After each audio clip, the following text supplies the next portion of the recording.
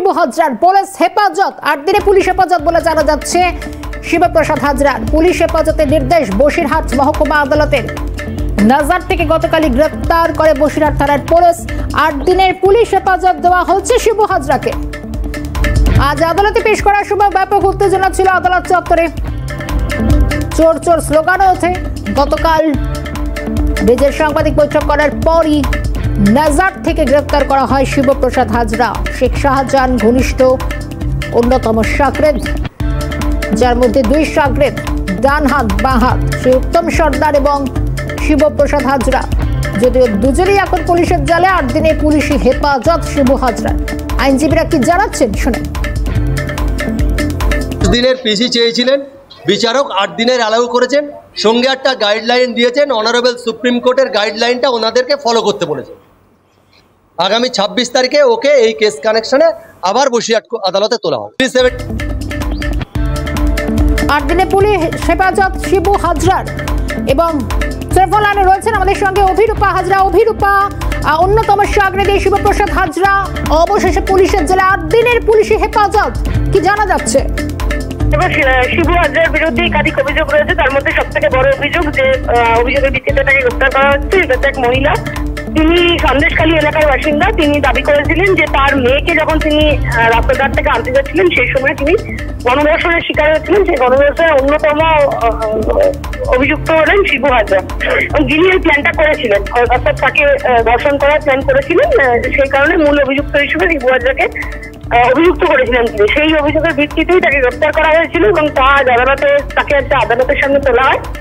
আদালতের সামনে তোলার পর আদালত দুই পক্ষের বক্তব্য অর্থাৎ শিবু পক্ষের আইনজীবী এবং পিপি পুলিশের পক্ষের আইনজীবীর বক্তব্য শোনার পর তার বিরুদ্ধে একাধিক অভিযোগ থাকার জন্য তাকে আট দিনের পুলিশি হেফাজতের নির্দেশ দিয়েছেন যদিও পুলিশের পক্ষ থেকে দশ দিনের পুলিশি হেফাজতের দাবি করা হয়েছিল কিন্তু তার মধ্যে আট দিনের পুলিশি হেফাজত দিয়েছেন আগামী ছাব্বিশে ফেব্রুয়ারি।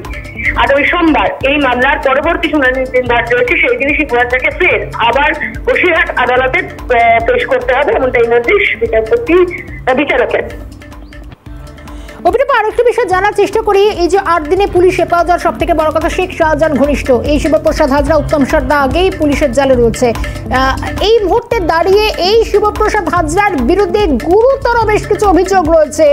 এই আট দিনে পুলিশ কীভাবে তার তদন্ত প্রক্রিয়া এগিয়ে নিয়ে যাবে, কি মনে হচ্ছে, কতটা সহায়ক হবে এই পুলিশ হেফাজত? অভিযোগ রয়েছে বিরুদ্ধে। প্রথমে, একদম প্রথমে এই যে অভিযোগের ভিত্তিতে তাকে ধরে আনা হয়েছে, একদম প্রথমে তার বিরুদ্ধে এবং আহ, একাধিক ধারায় মামলা রুজু করা হয়েছিল। পরবর্তীকালে যেমন তিনশো চুয়ান্ন এ বি তিনশো একচল্লিশ তিনশো তেইশ পাঁচশো ছয় পাঁচশো নয় এই ধারায় মামলা রুজু হয়েছিল। পরবর্তীকালে তিনশো সাত এবং তিনশো ছিয়াত্তরের ডি তিনশো সাত হচ্ছে খুনের ইচ্ছা প্রকাশ এবং দ্বিতীয়টা হচ্ছে তিনশো ছিয়াত্তর হচ্ছে গণধর্ষণ এই দুটি ধারা যুক্ত করা হয়েছিল এবং তারপরই শিবু হাজরার বিরুদ্ধে একাধিক অভিযোগ ছিল।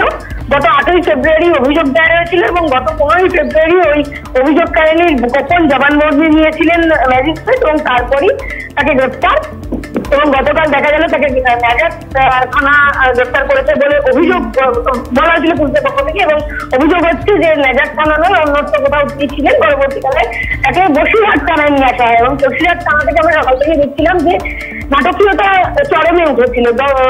থানার দরজা বন্ধ তাকে লুকানো হচ্ছিল। কোর্টে পেশের সময় অন্য এক আসামিকে আহ, শিবু হাজরা বলে পেশ করা হলো। পরবর্তীকালে শিবু হাজরাকে পেশ করা হলো। এই নাটকীয় মোড় কিছু কম নয়। এখন এই মুহূর্তে আমি রয়েছি শিবু হাজরার গাড়ির পেছনে পুলিশ তাকে নিয়ে যাচ্ছে। আহ, বসিরহাট থানা থেকে তাকে বের করা হয়েছিল কিন্তু বসিরহাট থানা ছাড়িয়ে এগিয়ে যাচ্ছেন। অন্য কোনো থানায় হয়তো ধরার উদ্দেশ্যে তাকে নিয়ে যাওয়া হচ্ছে। যেহেতু তার পিসি রয়েছে অর্থাৎ পুলিশ কাস্টাডি রয়েছে তাই আগামী আট দিন তাকে কোন থানায় রাখা হয় সেটা পরবর্তী বিষয়। কিন্তু এই মুহূর্তে আবারও পুলিশ তাকে গাড়ি করে নিয়ে অন্যত্র কোনো থানায় নিয়ে গেছে যেটা বসিরহাট থানা থেকে খানিকটা হলেও দূরে।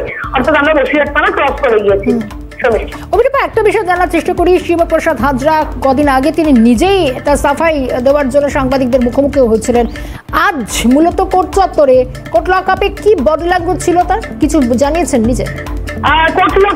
এখনও পর্যন্ত পরিষ্কার ভাবে শুধু মুখ খোলেনি সংবাদ মাধ্যমের সামনে। তবে আদালতে তার আইনজীবীরা একাধিক কথা বলেছেন। এক যে অভিযোগ করছেন অভিযোগকারিনী তিনি যে শিবু হাজরার নামে সরাসরি কোনো অভিযোগ করেননি গণধর্ষণের অভিযোগ অন্যান্য অনেকের কিন্তু শিবু হাজার ফাংশন কি এটা নিয়ে প্রশ্ন তুলেছিলেন তাদের আইনজীবীরা?